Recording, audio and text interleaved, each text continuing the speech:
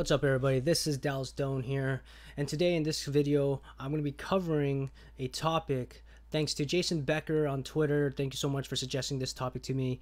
Uh, I'm going to be covering uh, the, the asset pipeline, the uh, creation of an asset, the pipeline and the workflow from beginning to end. So now first, I just want to make sure that I say something right out the, right out of the gate here, and, and that's everyone has a different pipeline Every studio has a different pipeline. Some people might have similar pipelines, some people might have the exact same, right? But the most important thing is that there's not just there's not one way to go and do things, okay? Um, but I just want to show you kind of a basic um, workflow and my specific workflow. This isn't workflow that we do at my studio or anything like that. Again, this is me just representing myself and any opinion on my videos is is my opinion. Okay, so so let's get started. So again, this is gonna be a quick overview. So I'm gonna create a cube. Okay, I'm not gonna do anything too fancy. We're gonna call this um, low cube or something or cube underscore low. Okay, so let's say pretend this is a car or something. Uh, I don't know, um, but let's say I, I have I, I put my low poly chair or whatever it is that you're modeling. I finished modeling it, right? So I'm gonna go and I'm going to export this out. I'm going to put everything on my desktop. Obviously, don't do that, okay? Um, should be putting this stuff in like a folder, a project folder and stuff like that. Um, but for me right now, actually, you know what? Let's let's let's go and do that. Let's not show you guys bad habits here. So let's go to Dropbox. I'm gonna go to here. I'm gonna go uh, new folder. I'm gonna say uh, cube. Okay, cube zero one. Okay, and then we're gonna go here. We're gonna say meshes. And then again, I think I covered this already where I create a bunch of different folders and stuff. So I'm gonna go meshes, cube low. I'm gonna export out as FBX. Um, I'm gonna save this scene. Oh, sorry. Save scene. We're gonna go to scene here. I can go cube. I'm also using Maya LT. Um, so if you're an indie studio, you might be using this. If you're in a bigger studio, you'll probably be using the regular Maya, and some of you might be using Modo, 3D Studio Max, Blender, whatever. Okay, so I'm gonna kill the history here. I've exported it out, perfect. Now it's time for me to go sculpt it in ZBrush. So this is ZBrush. So I'm gonna Z plug um, the Z plugin. I'm gonna go to FBX Exporter Importer. I'm to import. These are all my options, by the way. Uh, again, you can pause the video if uh, your options look a little bit different. Cube, go to meshes, go to low. So I import this cube in here. Okay, so now there it is. There's the cube. I like using uh, white, the MatCap white. There we go. So there we go. So now you have your cube, right? I'll turn perspective on for now, just so that things look a little bit nicer. Cool. So now you have this in here. Um, and we want to start adding some subdivisions. We're going to subdivide. Oh, so first off, maybe what we'll do is we'll go, we'll do some things to it. Okay, so I'm to go to the Z modeler. I'm going, actually, never mind. I'm just going to go, and I'm going to crease everything. So I'm to go crease, I'm to crease all. Okay, and then I'm to go subdivide, subdivide.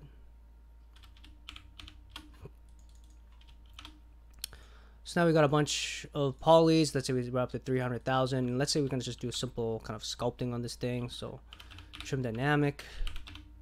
Sorry. Okay, with this. Let's go a new document.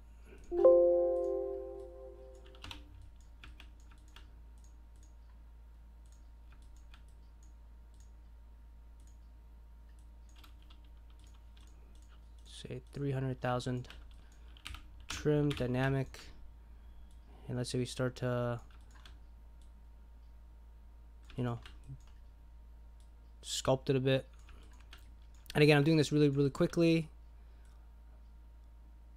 so we're gonna sculpt it sculpt it sculpt it sculpt it add some cool things to it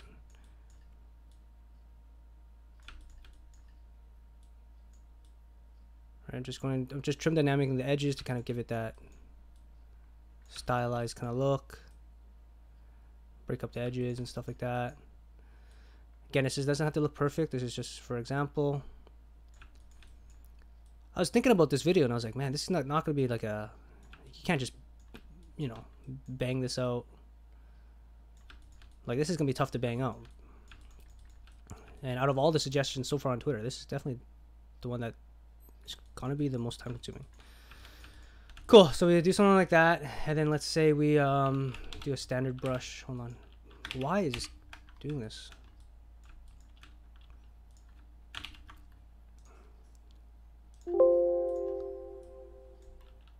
Okay. B S T. There we go. And then what we're going to do is we're going to put an alpha on here just to kind of change things up. Um, we're going to use the drag.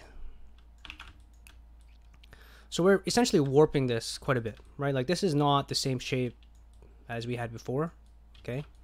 Uh, and then we're going to like intensity or something, bump this up a little bit more, right? Now the shape is definitely different, and I'll tell you why that's important in a sec here. So you're gonna do something like that. So this is our high poly, right? High poly. Do, do, do, I don't know. Let's just add like a little circle or something in here. Let's maybe bring this up a little more. Cool. So now we have this going on. Awesome. Let's say we this is what we're happy with. We're happy with the high poly of this right? So now we're going to export this out. Now, first off, we need to make sure we rename this. So I'm going to rename this to hi.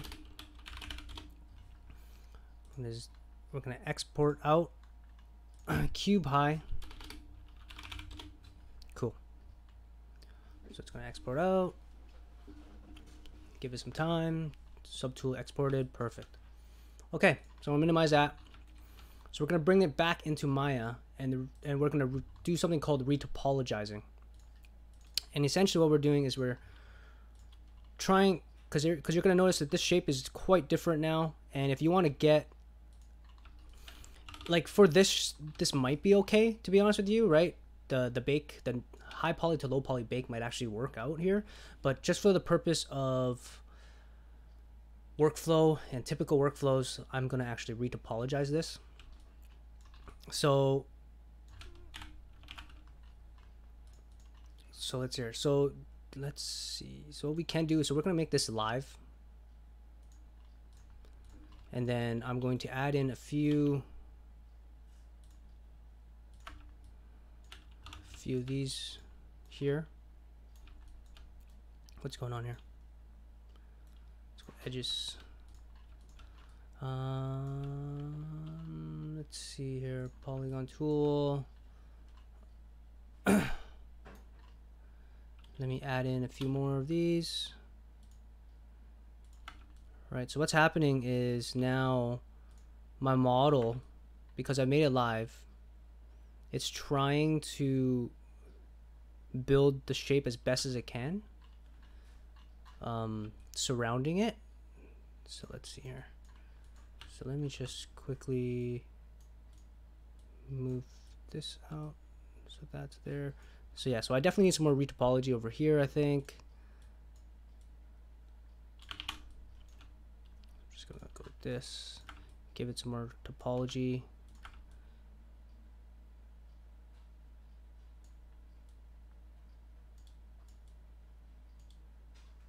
So that's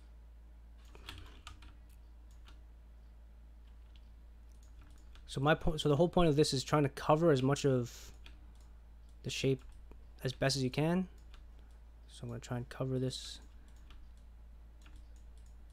so that it actually takes the bake of the high poly. Right, so this is retopologizing. Obviously, like there's tons of videos out there on retopologizing. I'm just doing this really quickly here.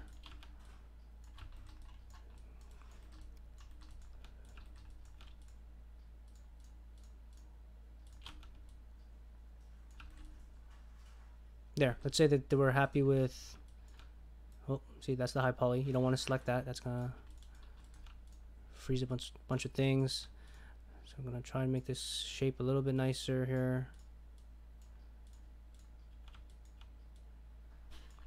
Cool, cool, cool. So then once you have that, what you want to do is you want to let me just select all these vertices. I'm just going to move these vertices out just a little bit to kind of give us a better sh overall shape. So it takes the bake a lot better. so, so, now we're going to UV this. Okay, this is very important. You have to UV this for, um, for these purposes. I'm just going to do an automatic UV just to make it nice and quick. What's really important about the UVing here is you want to make sure that nothing is overlapping um, especially if you're doing bakes, like a high to low poly bake. So let's say this is good. Let's say this is approved. Now, uh, one thing that you're that this is this is a really important step that a lot of people tend to forget. So this is our new low poly, right? I'm gonna do this. What you want to do is you want to make sure that all of your border edges. So hold on, let me try and show this. All your border edges here need to be hardened, okay? Or else your bakes always end up looking weird or there's seams and weird lines and stuff everywhere. So I have a I actually have a script which I didn't put here. Hold on here. I have it on my notes. It's a script that will select all your script. My uh, um, was it border edges? Hold on, UV border edges. Where's that script? Here we go. So I have a script here.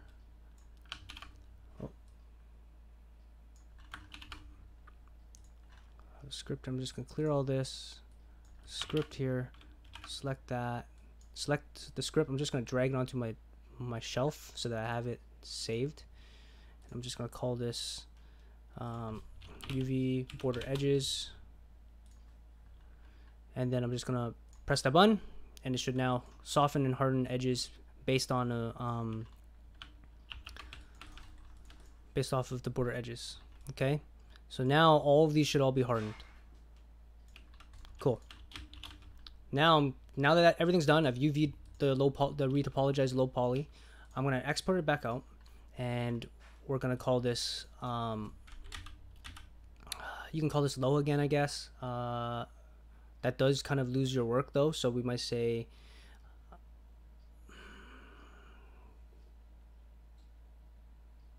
Sure. Let's just call it low. Typically, do I normally typically call it low? Yeah, yeah. so so call it low. Replace it, and then we bring it into Painter.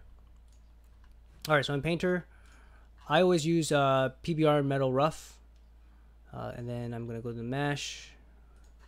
Let's go to cube. We're gonna go to scene. Oh, mesh. Go to low poly. We're gonna go, let's say 20, let's go 10, 24 just for speed and, and time saving. So here's our mesh, right? Here's our mesh, here's our UVs on this side.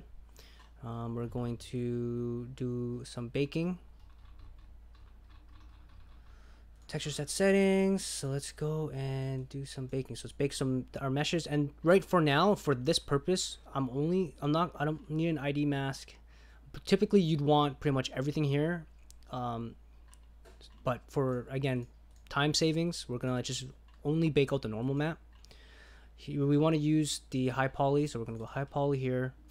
Um, we won't worry about the cage and stuff like that. I'm not gonna go crazy with this um, with these settings, and then that should be good. So we're just gonna do a quick normal map bake, and there we go. So now we have this bake of a high poly and low poly. Again, it's not perfect, right? It's not perfect. But we have all of our kind of the details that we've had. I mean, obviously, I would have to work on the shape a little bit more to get a nicer shape of everything. But let's say this is good. Okay, so now we have our high poly and our low poly. Great, everything looks fine. Um, and then you start to, to texture this, right? So let's say we um,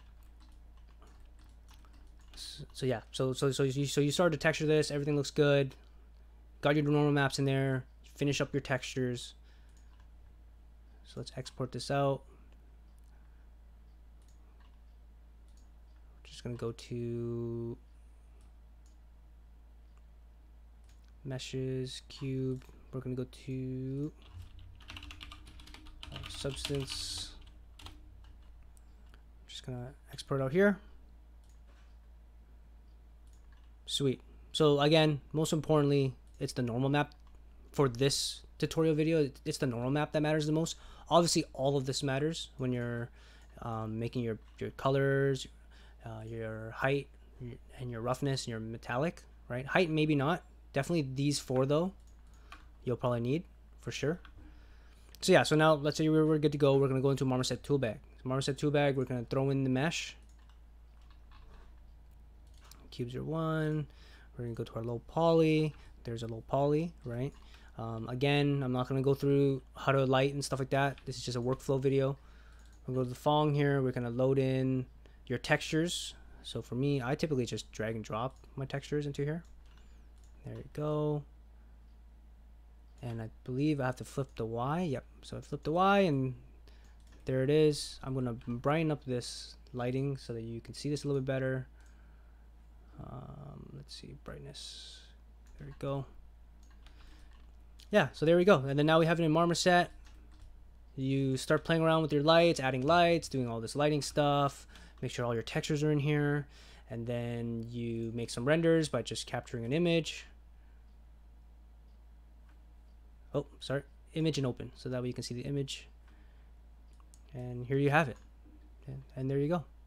All right, so hopefully that video helps everyone out. That's a quick overview um, from low poly to high poly sculpt, retopologizing, UVing, texturing, and rendering. Thank you so much.